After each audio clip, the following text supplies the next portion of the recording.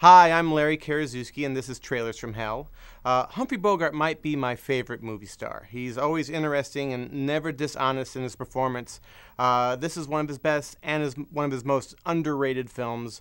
Uh, director Vincent Sherman's 1941, All Through the Night. I love the way this trailer opens. Uh, not with a scene from the film, but with Humphrey Bogart as himself. Sort of a behind the scenes look.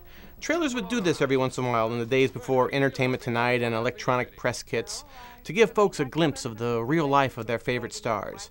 There's a similar trailer on this website for a movie called Mad Love that opens with star Peter Lorre as himself. It's pretty great. Uh, check it out. Now, I love the way that Bogart looks. He's, he's really unusual. You, you take it for granted because he's Bogey, but this is one odd looking dude. Uh, he's not really handsome, but he's got this magnetism and he's a star.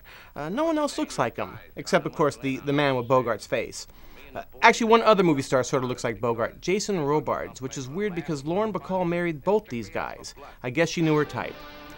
Now, the stars of the studio system made hundreds of films, but over time their work gets funneled down to only a few. People know Bogey for four or five films Casablanca, The Maltese Falcon, Treasure of Sierra Madre, The African Queen. Then maybe if you're above Big Sleep or To Have and Have Not. But that's it, and that leaves a bunch of films that no one ever talks about unless you stumble onto them at 4 a.m. on Turner Classics. But Bogart deserves better.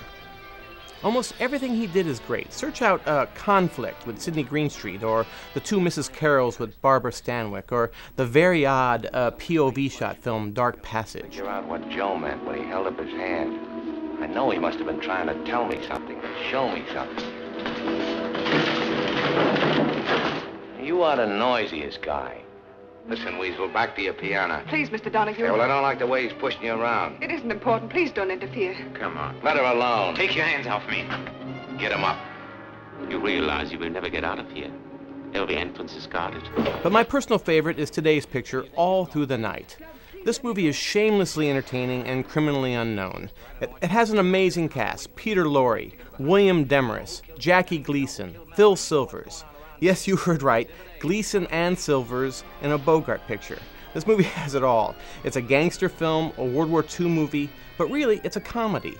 I would call it Runyon-esque, but I'm not that crazy about Damon Runyon. He doesn't really make me laugh. This movie makes me laugh. Uh, now, this trailer plays it much straighter than the movie actually is. Just listen to the plot. It's nuts.